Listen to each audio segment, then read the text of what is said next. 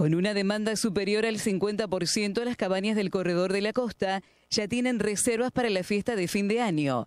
Desde 6 mil pesos en adelante por día, siguen siendo una opción de vacacionar en toda la región. La verdad que estamos contentos. Empezó, te diría, hace 24 horas a aumentar la demanda, así que estamos contentos. Navidad fue un testigo, este, algunos estuvieron a un 50%, otro un poquito más, un 80%, pero Año Nuevo vemos que este, es impresionante cómo está llamando la gente.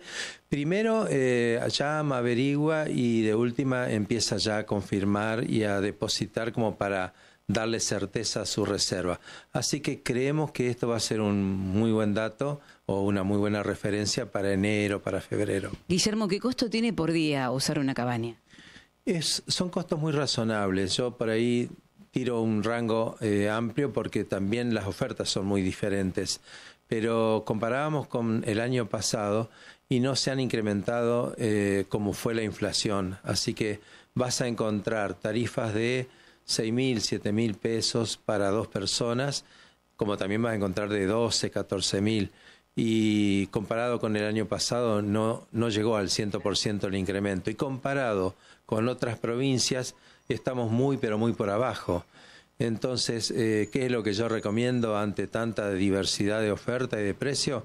Que la gente consulte con mucho tiempo, que verifique las páginas web, que verifiquen en, las comunas, en los municipios, si son complejos que están habilitados, porque es una manera de, de elegir bien y encontrar la mejor relación calidad de servicio-precio. Guillermo, ha habido casos de confusión, de que se puede dar a, bueno, no a estafa, pero por ahí a ser este, partícipe de un engaño. Ha habido el año pasado, este año ha habido algunos intentos, por suerte, este, no tuvieron éxito. Por eso nosotros recomendamos que no dejen a último momento, que elijan con tiempo. Hay muchísima oferta y hay para todos los gustos. Entonces es como, como nos pasa en la vida, si dejas para último momento, quizás no te toque lo mejor.